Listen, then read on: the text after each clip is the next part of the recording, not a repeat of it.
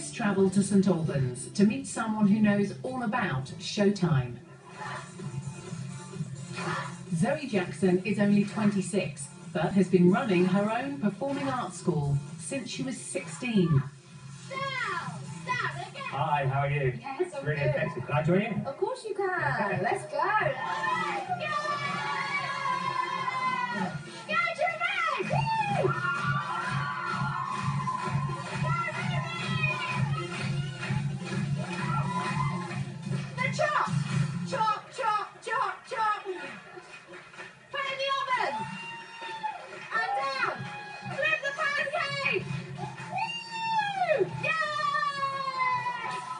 Zoe has also established a performing arts charity to help disadvantaged young people follow their passions.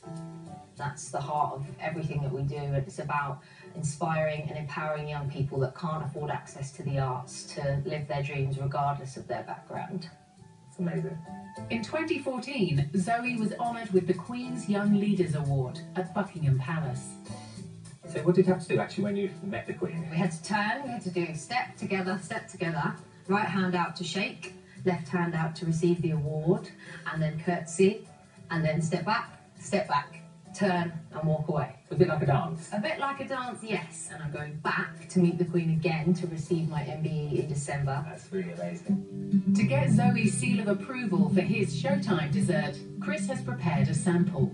So there we go. So we've got a chocolate and coffee cheesecake with granola base and tempered chocolate. Incredible. On the day, it's actually going to be in the shape of a piano. Oh, that's amazing.